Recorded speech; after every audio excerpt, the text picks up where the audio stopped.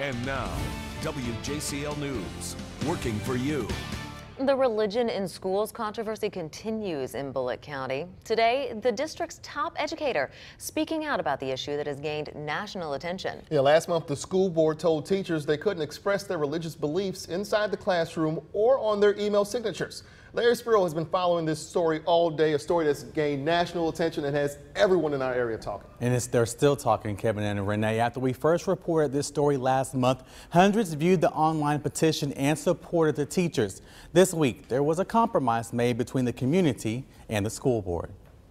In this email, the top leader of Bulloch County Schools responded to a topic that has the district in the national spotlight.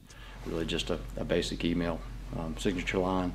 Um, to make sure uh, everybody's rights and views are respected, um, as well as uh, protect the board from any contra future controversy. Controversy that started after a football coach led his team in prayer.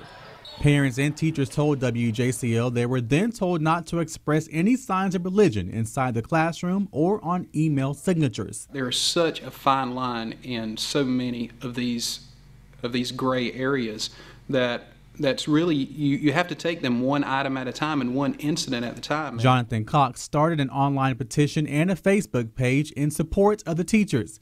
Since we first reported this story, this petition has gained more than a thousand signatures that prompted this response from Superintendent Charles Wilson. We've sought and received input from our community and our employees and um, to better understand the issues that were um, the issues of concern and we've been doing a lot of listening and as, as a result of that it's been a, it's been a, a, a good process a process that led to this compromise between the school district and the community wilson told employees in an email you do not have to step away or turn your back on student-led prayers you are free to pray to yourself or even gather with your peers of like faith to pray when students are not present you may wear non obtrusive religious jewelry. Students are free to learn about different faiths. However, Teachers are not allowed to show religious beliefs through email.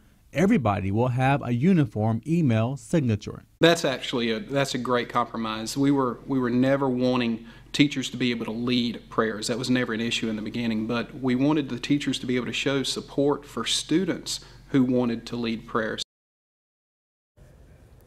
There will be another public meeting Thursday, December 19th at 6 o'clock.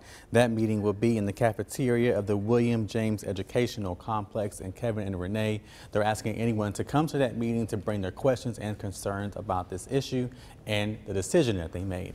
Some, finally, there'll be some resolution, is what we're hoping for. Right. Yeah. Some, some type of understanding and resolution made to this compromise. Yeah. Very good. All right. All right. Thanks, Larry.